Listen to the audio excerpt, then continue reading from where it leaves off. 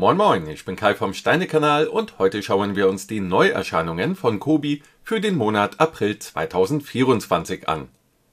Nachdem es im März in Sachen Produktneuheiten etwas ruhiger zugegangen war, folgen im April zahlreiche Highlights. Darunter beispielsweise die neue Limited Edition und die 1 zu 35 Modelle des Willis MB. Wie üblich nennen wir euch auch die geplanten Veröffentlichungstermine sowie die unverbindliche Preisempfehlung. Kurzer Hinweis in eigener Sache, Kobi-Sets findet ihr auch in unserem Onlineshop auf trendgames.de. Also schaut gerne mal rein, wir freuen uns auf euch. Neue Limited Edition. Wie bei Kobi üblich beginnt der Monat mit dem Vorverkauf der neuen Limited Edition. Geplant ist der Start am 2. April. Es handelt sich um den Panzerkampfwagen 6 Tiger mit der Setnummer 2586. Der Panzer im Maßstab 1 zu 28 wird aus 1330 Teilen gebaut und weist eine Wintertarnung auf. Optional kann ein Schnorchelrohr verbaut werden. Der Panzer selbst als auch der Turm werden ein baubares Innenleben aufweisen. Auch die beiden anderen angekündigten Versionen des Panzerkampfwagen 6 Tiger 1 mit den Nummern 2587 und 2588 haben dieses Merkmal. Bestandteil der Limited Edition sind außerdem zwei Minifiguren. Während der Panzerkommandant mit Fernglas und Kopfhörern ausgestattet ist, trägt der deutsche Soldat eine Flasche des polnischen Wodkas Pepescha sowie eine sowjetische Maschinenpistole, die sogenannte PP-STH-41, die Abkürzung für Pistolet Pulemjot Spagina. Als weitere Extras sind außerdem ein Wegweiser sowie ein Minimodell eines Maybach-Motors mit dabei. Die Turmnummer der Limited Edition 123 kann dem deutschen Panzerass Hans-Jürgen Burmeister zugeordnet werden, der Mitglied im schweren Panzerbataillon 503 war am 5. April 2024 wird der Barkas B1000 mit der Setnummer 24600 veröffentlicht. Das Modell aus der Youngtimer-Kollektion besteht aus 147 Teilen und wird im Maßstab 1 zu 35 gebaut. Kobi gibt eine unverbindliche Preisempfehlung von 19,99 Euro an. Der Barkas B1000 ist ein beliebtes Modell bei Kobi. Es gibt ihn bereits in vier Varianten: 24596, 24595 24594 und 24593. Im April erscheint er nun in der neuen Kobi-Farbe Aquamarin, die bereits in der Executive Edition des Maserati MC20 Cielo mit der Nummer 24351 oder dem Trabant Deluxe mit der Nummer 24516 zum Einsatz kam. Beim Barkas B1000 handelt es sich um einen Kleinbus und Lieferwagen, der in den Jahren 1961 bis 1991 in der ehemaligen DDR hergestellt und gefahren wurde. Der erste der drei Willys MB im Maßstab 1 zu 35, die im April ihre Premiere feiern, erscheint am 8. April 2024. Es handelt sich um den Medical Willys MB mit der Setnummer 2295. Alle Jeeps im Maßstab 1 zu 35 weisen das Logo des 80-jährigen Jubiläums des D-Days auf. Das Modell besteht aus 130 Teilen und enthält die Minifigur eines amerikanischen Sanitäters. Der Geländewagen, der im Zweiten Weltkrieg zu den weltweit am häufigsten eingesetzten Fahrzeugen zählt, wurde in seiner medizinischen Version zum Transport von Verletzten eingesetzt. Kubis Modell enthält außerdem eine Trage, die am Jeep montiert werden kann. Die UVP beträgt 17,99 Euro. Für den 10. April 2024 ist die Hawker Hurricane Mk1 mit der Setnummer 5866 angekündigt Sie wird im Maßstab 1 zu 48 aus 138 Teilen gebaut. Mit diesem nunmehr vierten Modell des britischen Jägers aus dem Zweiten Weltkrieg bietet Kobi das Flugzeug in allen gängigen Maßstäben an. Vorherige Modelle tragen die Setnummern 5728, 5709 und 5518. Für die aktuelle Umsetzung ruft Kobi eine UVP von 19,99 Euro auf die zweite Variante des Willis MB erscheint am 12. April 2024. Das Set, das mit Anhänger und der Setnummer 2297 ausgestattet ist, besteht aus 200 Teilen, zwei Minifiguren amerikanischer Soldaten der 101. Luftlandedivision Screaming Eagles sind ebenfalls Bestandteil des Sets.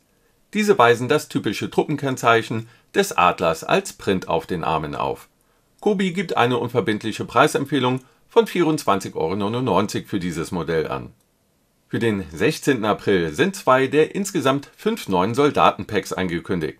In der German Tank Crew mit der Nummer 2053 sind drei deutsche Soldaten aus dem Zweiten Weltkrieg beim Panzerdienst dargestellt, ein Mitglied der Panzergeschützmannschaft in grüner Uniform sowie zwei Besatzungsmitglieder. Im Soldatenpack D-Day Allied Forces mit der Setnummer 2055 finden sich ein kanadischer Soldat mit Lee-Enfield-Gewehr, ein britischer Fallschirmjäger, der mit einer Sten-Maschinenpistole ausgestattet ist, sowie ein Mitglied des französischen Widerstandes. Die weibliche Figur trägt eine Pistole sowie eine Handgranate in den Händen. Beide werden 9,99 Euro in der UVP kosten. Alle Figuren sind mit einem kleinen Sockel ausgestattet. Drei Tage später, am 19. April 2024, erscheint das Soldatenpack D-Day June 6, 1944 mit der Setnummer 2054.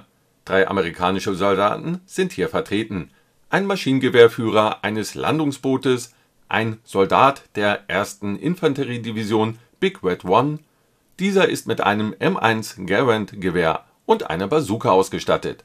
Außerdem ist erneut ein Fallschirmjäger der 101. Luftlandedivision dabei. Dieser trägt einen Fallschirmrucksack, eine Handgranate und ein M1 Gewehr. Auch dieses Soldatenpack hat einen Listenpreis von 9,99 Euro für denselben Tag ist auch der M142 HIMARS angekündigt. Das Set mit der Nummer 2626 wird im Maßstab 1 zu 35 aus 604 Teilen gebaut. Eine Minifigur ist enthalten. Es handelt sich um einen Artilleristen. HIMARS ist die Abkürzung für High Mobility Artillery Rocket System und ist ein Artillerie-Raketensystem, das von verschiedenen Nationen eingesetzt wird Prints der USA, Ukraine und Polen sind enthalten. Kobi gibt eine unverbindliche Preisempfehlung von 49,99 Euro an. Die Maserati-Kollektion von Kobi wächst mit dem neuen Modell des Maserati Levante S, das die Nummer 24507 trägt. Es erscheint am 20. April und wird aus 108 Teilen im Maßstab 1 zu 35 gebaut. Er wird zu einer UVP von 16,99 Euro verkauft werden die dritte Willis-MB-Version im Maßstab 1 zu 35 soll am 22. April veröffentlicht werden. Er heißt einfach Willis MB. In der Ankündigung war das Set mit der Nummer 2296 noch mit dem Zusatz M2 Gun versehen. Der Zusatz ist weggefallen, das schwere Maschinengewehr ist aber geblieben.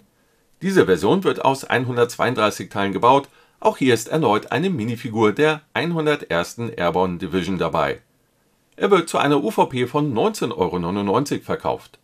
Die Boeing 747 Air Force One mit der Setnummer 26610 sollte ursprünglich am 25. März erscheinen, wurde nun aber auf den 22. April verschoben. Ob dies mit den möglichen Änderungen am Modell, genauer der Bedruckung aller Teile zusammenhängt, wissen wir nicht. Fest steht, dass im Finalmodell alle Teile bedruckt sind. Aufkleber sind also nicht enthalten das Modell sowie sein historisches Vorbild hatten wir euch in den März-Neuheiten bereits ausführlich vorgestellt. Das Set kostet 74,99 Euro in der unverbindlichen Preisempfehlung. Auch der Fiat Abarth 595 mit der Nummer 24601 ist für den 22. April 2024 angekündigt. Das Modell im Maßstab 1 zu 35 wird aus 71 Teilen gebaut, eine UVP wurde noch nicht genannt wir gehen aber von einem Listenpreis von 14,99 Euro aus. Ebenfalls am 22. April sollte auch die Standardversion der IJN Akagi mit der Setnummer 4851 erscheinen. Aufgrund eines Brandes in der Kobi-Fabrik im polnischen Mielec wurde die Veröffentlichung jedoch in den Mai verschoben. Ausblick Mai Eine reguläre Verschiebung wurde bereits vor dem Brand vorgenommen Demnach erscheint eines der großen beiden 1 zu 12 Willis MB Modelle von Kobi, der Willis MB and Trailer in der Executive Edition mit der Setnummer 2804 nicht mehr am 30. April. Es kostet 139,99 Euro. Weitere Einzelheiten zum Set und neue Veröffentlichungstermine erfahrt ihr dann in unseren Mai-Neuheiten. Und hier noch ein allgemeiner Hinweis Besonders nach den jüngsten Ereignissen in der Kobi-Fabrik sind die von uns genannten Termine mit Vorsicht zu genießen und lediglich als Orientierung anzusehen. Es ist davon auszugehen, dass einige Sets nach hinten verschoben werden können. Der Veröffentlichungstermin ist das Datum, an dem die Ware ab Werk im polnischen Mielec verfügbar ist. Erst einige Tage später sind die Sets auch bei deutschen Händlern, wie beispielsweise bei uns, verfügbar. Diese findet ihr dann bei uns auf trendgames.de Ebenso könnt ihr dort viele Sets vorbestellen. Wie gesagt, schaut gerne mal rein. Und dann kommen wir noch zu einem alten und zu einem neuen Giveaway. Im Video zu den Märzneuheiten hattet ihr die Möglichkeit, den Trabant 601 Deluxe mit der Setnummer 24516 zu gewinnen und gewonnen hat Elmar Beck 7525. Er hat geschrieben, freue mich schon sehr auf den Lancia. Den Trabi habe ich schon in der großen Ausführung. Prima, dann passt doch jetzt der kleine Trabi perfekt dazu. Herzlichen Glückwunsch. Bitte sende mir noch eine E-Mail an info@steine-kanal.de, damit ich weiß, wohin ich den Gewinn senden soll. Und auch in diesem Video haben wir wieder ein neues Giveaway für euch. Zu gewinnen gibt es die Cessna in weiß-blau mit der Setnummer 26622. Dies ist ein Dankeschön an alle Abonnenten des Steinekanals hier auf YouTube. Um teilzunehmen, seid natürlich Abonnent des Steinekanals, gebt diesem Video einen Daumen rauf und hinterlasst einen Kommentar mit dem Wort Cessna. Der Gewinner wird dann aus allen veröffentlichten Kommentaren unter diesem Video gezogen. Teilnahmeschluss ist der 15. April 2024. Die vollständigen Teilnahmebedingungen findet ihr auch noch einmal in der Videobeschreibung verlinkt. Zum Schluss habe ich hier links und rechts noch eine Videoempfehlung für euch. Dann danke ich euch recht herzlich fürs Zusehen. Bis zum nächsten Video. Auf Wiedersehen.